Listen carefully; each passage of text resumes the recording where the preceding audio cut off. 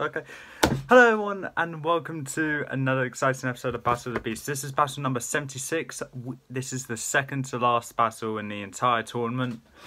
And as you know, if you've been watching along with the series, we're down to three, three beasts remaining Ferno, the Fire Dragon, Crestor, the Crushing Terror, and Torpix, the Twisting Serpent. Let's go on this side. Uh, all three of these beasts, I think, have deserved to make it this far. And looking at all the beasts they have slayed throughout this entire tournament, some were obvious victories for them, like Torpix versus Tagus, and some were a bit hard to decide for Victor, which, um, for the sake of um, convenience, uh, I need to think of one. Probably, uh, I don't want to get haters, but this was the closest one out of all of them I could think of. Crestor versus Serpio. That was the closest battle of all of the battles that each of these beasts had.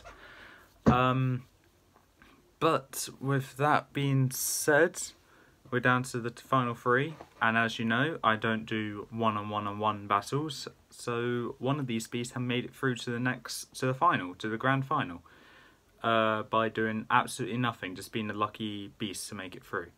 Uh, give me a bit, give me a couple seconds, so then I could get my um, statistics up, so then I can know which beast slayed what, because I honestly can't remember for the life of me. But as you can probably tell by the title, you know which beast's in the grand final and which two have to fight it out. The beast that's made it through to the grand final is Crestor, the Crushing Terror. I'll go on this side. Crestor, the Crushing Terror. To have this as one of the fina- final books to make it there, um, with only six kills in total at the moment, I think is an alright achievement. And for beasts that only had probably one battle in his area or terrain that he was made for, that's pretty impressive. It Crestle deserved to make it this far. Um, I wouldn't say to the top two, but apparently so. Uh, and I'm only saying it deserves to make it this far because it won five battles not being in the terrain it was supposed to be in and won one against Lustor, which could have easily won as well. Which leaves Ferno the Fire Dragon versus Torpix the Twisting Serpent. This is going to be the only Battle of the Beast video I'm uploading today because um, my good friend Lucas is creating a new intro for the grand final. And I'm guessing, due to how long it's taken, uh, it's going to include the names of the final two beasts. And uh, it'll be like Crestor, the Crushing Terror versus Torpix or Ferno, whichever one wins this fight. Um, anyway, statistics as a quick reminder. Uh, I don't know why I'm doing it. It's just to make this video more longer and more boring than it already is. In round one, Ferno killed Fang. Round two, Linka. Round three was um, who did you kill in round three? Uh, yeah, round two was Linka. Round three was Tremor. Round four was Elik, and you skipped round five. Torpix, however, killed six beasts, and round one it was Skuric. Round two was Tagus. Round three it was Madara. Round four it was Serpio, and round five it was Rock. Wait, six kills? I meant Torpix may get six kills if uh, if he beats Ferno. Ferno will get five kills if he beats Torpix. Uh, I don't think I need to say this anymore. Whichever one dies, that series comes third place. Um, it's pretty obvious. Um, it wait. Oh, Torpix killed Balisk as well. Wait, I said Serpio for Torpix, didn't I? Okay, I meant Balisk, not Serpio. Crestor killed Serpio. the videos are right next to each other. Battle number 70 and 71. I got a bit confused there. Oops. Okay. Um, for the terrain, I'm thinking of a. Uh, you know? I think I just need to give this kind of terrain to both the last battles, this one and the next one, as it's a rather even terrain given no beastie advantage or disadvantage. So I'm gonna go with a plain barren terrain like I did with the last episode, which was Torpix versus Carnivora. So Torpix battled in two consecutive day battles in a row. Okay, um, well done. so um, yeah, that's it. That's all I need to say. Torpix and Inferno. May the best beast win. And which one will be joining Crestor in the final round? Or as Lucas very well said in the message he sent me uh, this morning saying which beast is through, he said uh, Torpix versus Inferno and Crestor awaits the victor. Okay, so um, yeah. Before we get into this battle though, I, I shall repay this by making this a really good battle. If you didn't know so already, back in the days when the tournament has just begun, it was episode two when it was announced, and um, I said the it was originally planned, well, for Lucas anyway, to have Silver in the top two, and it was um, kind of unfair for the simple reason, like Silver kills Trillion, and then Silver goes straight from round one to round seven. I'm just I'm just sat there thinking, no, no, that's not fair. Let him die by Serpio. uh, let let him earn his way to the top two, like all the other beasts had to, have to. So yeah, that's what we did after a long, arduous debate, and uh, I won that debate. So uh, Lucas still pissed off at me that Silver dies, but um, if it helps, Carnivore and Vespick died, so it's about even with losses. Um, so yeah, uh, Silver is not in the top two, thank God, because that'd be really unfair for just skipping round two, three, four, five, and six.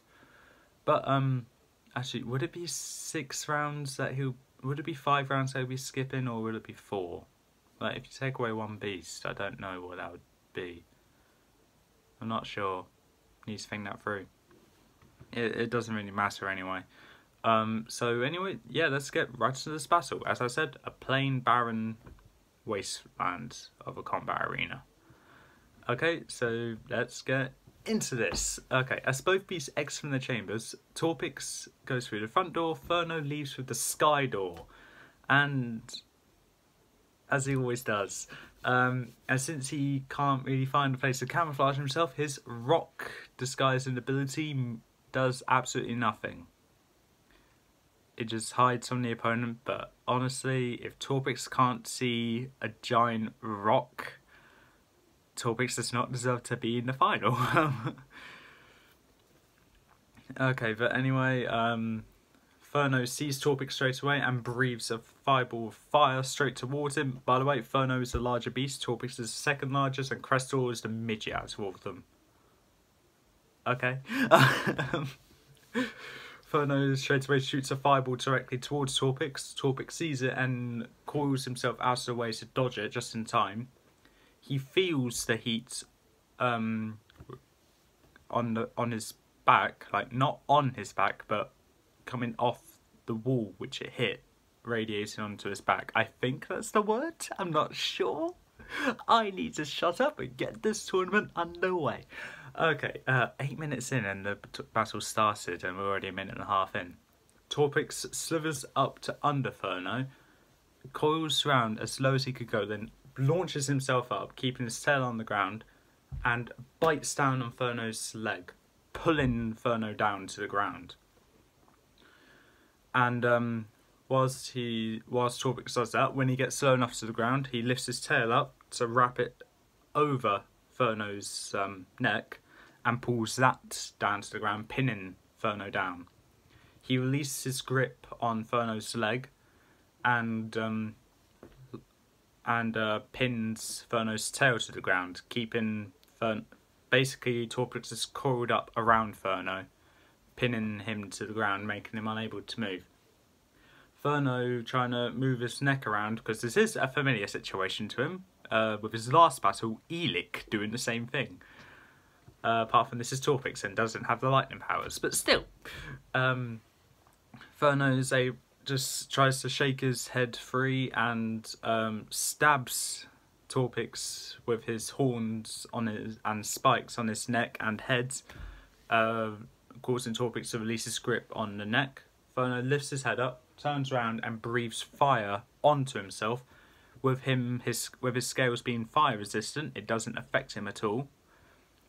Torpix um, is slowly feeling the pain, so he um, slithers off um, just to spit acid directly at Ferno. Uh, counters that with fire, and um, what I said in the Lustor versus Shamani fight, uh, when Lustor's acid came into contact with Shamani, it exploded. But that's um, to do with the fact that the acid that Lustor had was more solid like than Torpix's. I think that's the word. Um, God, science has just gone out that window. Uh, just like, but the light just came back in. So, okay, so light came in, science gone out. Okay. Um, so it just collide. The acid and the fire goes straight into each other, just splattering everywhere um, doing absolutely nothing. The acid that lands on the ground starts melting away some of the floor. Uh, Ferno is unaffected by it as none of the acid has touched him. But whilst Torpix was distracting Inferno with that, he sneaks, uh, he slivers his tail to under to get to Ferno's uh, tail, wraps around it and pulls it back, causing Inferno to get jolted backwards and just stop breathing fire for a second.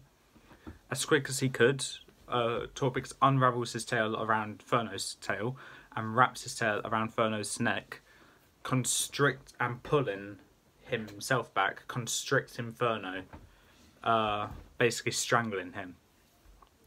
Inferno tries to breathe uh, fire to um, at Torpix to make him let go, but Torpix has enough excess tail part, extra tail that was wrapped around him to um, have it slide up to Ferno's mouth and just wrap around it and pull, shutting it completely. Ferno is unable to attack Torpix with the fire, and what Ferno does, he lifts his wing up and scratches at the tail that was wrapped around Ferno's um, mouth. Uh, Torpix had to let go of Ferno's mouth because that would hurt if you got scratched by the um, claw that's on Ferno's wing. And um, Ferno quickly opens his mouth again and breathes fire at Torpix. Torpix, not wanting to get burned alive, lets go of Ferno as quick as he can and slivers aside. Ferno follows him, not really, but just moves his head in the direction that Torpix is slithering, breathing fire everywhere. And this is an interesting battle, actually. I'm actually glad this was a matchup. I want both of them in the finals, but I only need to give. I had to give the finals to one of them to go against this thing. Um, but I don't even know what animal Crest was based off. Um, but um, eventually Torpix gets uh, a bright idea, and he stops suddenly. Was the fire that Ferno's breathing out is coming straight towards him, and Torpix ducks down just in time to avoid that, slithers backwards, turns his head and spits acid directly at Ferno. Ferno sees this, but it doesn't have enough time to dodge it, so he quickly moves his wing to block his head. It hits this wing straight away, dissolving the uh, part of it. Um, Ferno roars in pain and agony and breathes fire all around him like um the dragon did in How to Train Your Dragon, the big behemoth dragon in How to Train Your Dragon did to just burn everything around him. Torpix is unable to dodge that because you try dodging that and um, uh, you'll be a star if you do. But um, Torpix was not unable to dodge that. No, what was not was was not no, was able to dodge that. No, was unable to. There, there we are. Was unable to dodge that, and he got burnt all over him. But Torpix is still kicking. Ferno is obviously enraged. His eyes show it because his eyes are red. Um, and Ferno gets up and charges straight towards Torpix, uh, ready to just pin Torpix down. He does, but Torpix is able to wrap his tail around Ferno's body, pinning Ferno down towards him.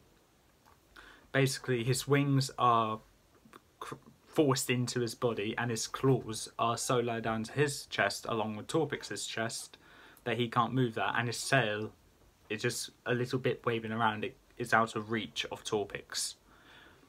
Ferno um, just opens his mouth and ready to bite at Torpix, but Torpix saw that coming, opens his mouth and spits acid directly into Ferno's mouth, with him unable to defend himself with his wing or anything. Ferno has to take the acid, um, and it goes right down his throat into his stomach, uh, melting everything along the way. His tongue, his fire that he was brewing up, but that just got overpowered by the amount of acid that went in there. And everything inside Ferno is starting to dissolve straight away, and Ferno suddenly just slumps down onto Torpix, loosening his grip.